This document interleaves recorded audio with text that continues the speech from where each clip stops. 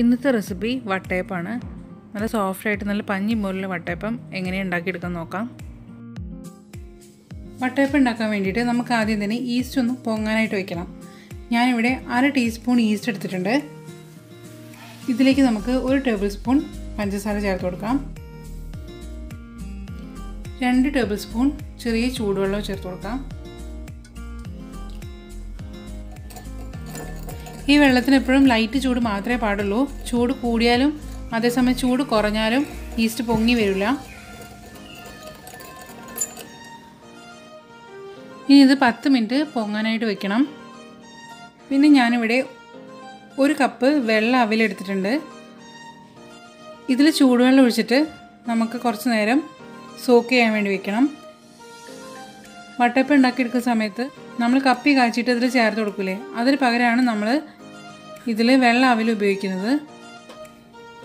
ഈ ഒരു കപ്പ് അവിലേക്ക് നമുക്ക് അര കപ്പ് ചൂടുവെള്ളം ചെറു ചൂടുവെള്ളം ചേർത്താൽ മതി. ഒഴിച്ചു കൊടുത്തിട്ട് ഒന്ന് സോക്ക് ചെയ്യാൻ വേണ്ടി വെക്കണം. വെള്ള അവിൽ തന്നെ എടുക്കാൻ വേണ്ടി പ്രത്യേകം ശ്രദ്ധിക്കുക. ഇത് വളരെ നേരത്തെ അവിലാണ്. ഇതൊന്ന് മിക്സ് ചെയ്തെടുക്കണം. തിളച്ച വെള്ളമൊന്നും ഉപയോഗിക്കണ്ട. ചെറു ചൂടുവെള്ളം ഉപയോഗിച്ചാൽ മതി.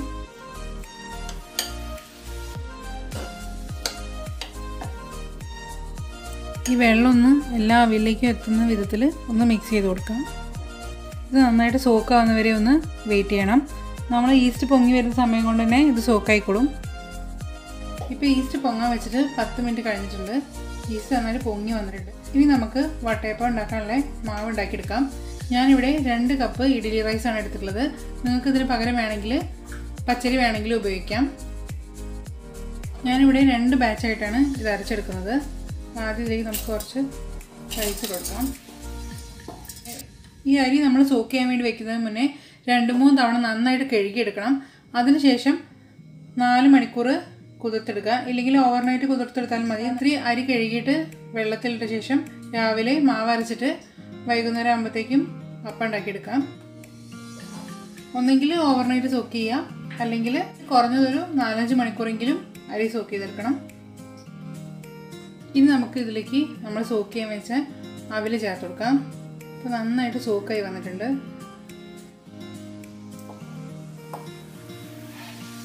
ഇതിലേക്ക് നമ്മൾ ഒരു കപ്പ് തേങ്ങയാണ് ചേർക്കുന്നത്.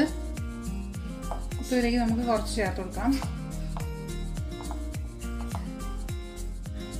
പിന്നെ നമുക്ക് ഇതിലേക്ക് ആവശ്യമായിട്ടുള്ളത് പഞ്ചസാരയാണ്. ഞാനിപ്പോൾ അര കപ്പ് പഞ്ചസാരയാണ് അരയ്ക്കുമ്പോൾ ചേർക്കുന്നത്. മധുരം നിങ്ങളെ ഇഷ്ടത്തിനനുസരിച്ച് ചേർത്ത് കൊടുക്കാം. കറി കൂട്ടി കഴിക്കാനാണെങ്കിൽ ഒരുപാട് മധുരം നന്നായിട്ടുണ്ടാവില്ല. നേക്കായിട്ട് കഴിക്കുകയാണെങ്കിൽ അപ്പത്തിന് നല്ല മധുരം വേണം. അപ്പോൾ നിങ്ങളുടെ ടേസ്റ്റിനനുസരിച്ച് ചേർത്ത് കൊടുക്കുക.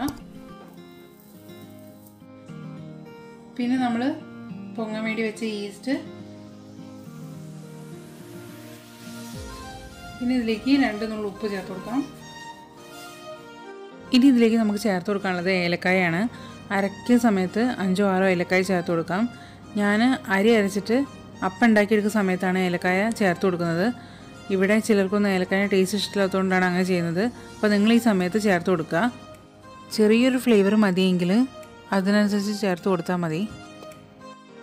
ഇനി നമ്മൾ മീഡിയം തിക്കായിട്ടുള്ള തേങ്ങാപ്പാൽ ഉപയോഗിച്ചിട്ടാണ് നമ്മൾ ഈ മാവ് അരച്ചെടുക്കുന്നത്. അപ്പോൾ ഞാൻ ഇവിടെ മൂന്ന് കപ്പ് തേങ്ങാപ്പാൽ എടുത്തിട്ടുണ്ട്. ആദ്യം നമുക്ക് കുറച്ച് ഒഴിച്ചു കൊടുക്കാം. ആദ്യം കുറച്ച് ചേർത്തിട്ട് നമുക്ക് നന്നായിട്ട് അരച്ചെടുക്കാം. ഇപ്പം ഞാനിവിടെ നമ്മുടെ വട്ടയപ്പത്തിന്റെ മാവ് ഫുള്ളായിട്ട് അരച്ചെടുത്തിട്ടുണ്ട്. രണ്ട് മൂന്ന് ബാച്ചായിട്ടാണ് അരച്ചെടുത്തത്.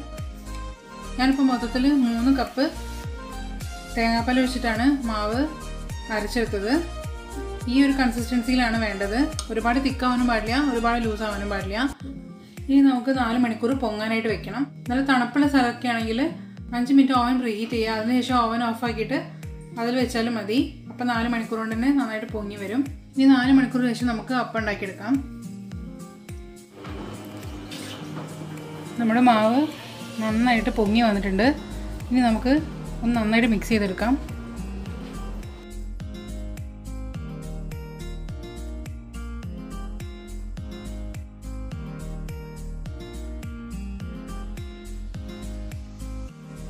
ഇപ്പോൾ കുറച്ച് മാവ് മാറ്റിയതിന് ശേഷം ഞാനിതിലേക്ക് നാല് ഏലക്കായ പൊടിച്ചത് ചേർത്ത് കൊടുക്കുന്നുണ്ട്. നിങ്ങൾ അരയ്ക്കുന്ന സമയത്ത് ചേർത്ത് കൊടുക്കുക. ഇനി ഏലക്കായ ഫ്ലേവർ ഇതേപോലെ ആർക്കെങ്കിലും ഇഷ്ടമില്ലാത്തുണ്ടെങ്കിൽ കുറച്ച് ഇതേപോലെ മാറ്റി വെച്ചിട്ട് കുറച്ച് മാവിൽ ചേർത്ത് കൊടുത്തിട്ട് അങ്ങനെ ഉണ്ടാക്കിയെടുത്താലും മതി. ഒന്ന് നന്നായിട്ട് മിക്സ് ചെയ്തെടുത്ത ശേഷം നമുക്ക് അപ്പം ഉണ്ടാക്കിയെടുക്കാം. ഞാനിപ്പോൾ ഇതുപോലത്തെ ഒരു സ്റ്റീമറിലാണ് ഉണ്ടാക്കുന്നത്. ചെറിയൊരു പാത്രത്തിൽ കുറച്ച് വെളിച്ചെണ്ണ തടവി എടുത്തിട്ടുണ്ട്. ഇനി ഇതിലേക്ക് നമുക്ക് മാവ് ഒഴിച്ചു കൊടുക്കാം. നമ്മൾ എടുക്കുന്ന പാത്രത്തിന്റെ ഷേപ്പാണ് കേട്ടോ അപ്പത്തിന് ഉണ്ടാവുക അപ്പോൾ നിങ്ങൾ നോക്കിയിട്ട് എടുക്കുക പാത്രം. മാവ് ഒഴിച്ച ശേഷം നമുക്കിത് മൂടി വെച്ചിട്ട് വേവിച്ചെടുക്കണം.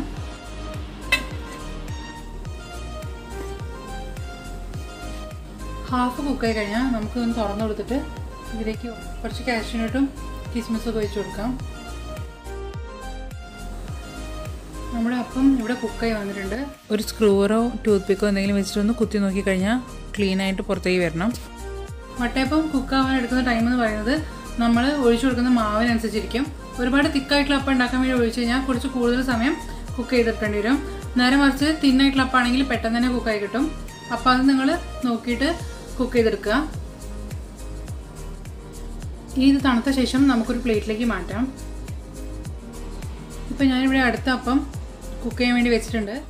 വീണ്ടും വീണ്ടും നമ്മൾ അപ്പം ഉണ്ടാക്കുന്ന സമയത്ത് ഒരു കാര്യം പ്രത്യേകം നോക്കണം. ആദ്യത്തെ തവണ നമ്മൾ അപ്പം ഉണ്ടാക്കുന്ന സമയത്ത് മൂടി വെച്ച് ഈ മൂടിനകത്ത് ഫുള്ളായിട്ട് ആവി വെള്ളം വന്നിട്ടുണ്ടാവും. ഈ ആവി വെള്ളം നമ്മൾ നന്നായി തുടച്ചെടുത്ത ശേഷം വേണം അടുത്ത അപ്പം മൂടി വയ്ക്കാനായിട്ട് ഇല്ലെങ്കിൽ ഇത് വീണ് കഴിഞ്ഞാൽ നമ്മുടെ അപ്പം നന്നായിട്ട് പൊങ്ങി വരില്ല. തണുത്തതിന് ശേഷം ഞാനിവിടെ ഒരു പ്ലേറ്റിലേക്ക് മാറ്റിയിട്ടുണ്ട്. ഒട്ടി പിടിക്കൊന്നുമില്ല കേട്ടോ. നല്ല ഈസി ആയിട്ട് തന്നെ നമുക്ക് പാത്രത്തിനന്ന് എടുക്കാനായിട്ട് കിട്ടും. നന്നായി തണുത്തതിന് ശേഷം എടുത്താൽ മതി. നല്ല സോഫ്റ്റ് ആയിട്ടുള്ള അപ്പാണ്. നല്ല പഞ്ഞി പോലെ നല്ല സോഫ്റ്റ് ആയിട്ട് അപ്പാണ്. അപ്പോൾ നിങ്ങൾ ഉണ്ടാക്കി നോക്കുക. ഈസി ആയിട്ട് ഉണ്ടാക്കിയെടുക്കാം ഉണ്ടാക്കി നോക്കിയിട്ട് നിങ്ങൾ ഫീഡ്ബാക്ക് അറിയിക്കുക. വീഡിയോ നിങ്ങൾക്ക് ഇഷ്ടമായിട്ടുണ്ടെങ്കിൽ ഷെയർ ചെയ്യാനും ലൈക്ക് ചെയ്യാനും മറക്കരുത്. അതുപോലെ തന്നെ ചാനൽ ഇതുവരെ സബ്സ്ക്രൈബ് ചെയ്തിട്ടില്ലെങ്കിൽ ഒന്ന് സബ്സ്ക്രൈബ് ചെയ്യാനും മറക്കരുതേ.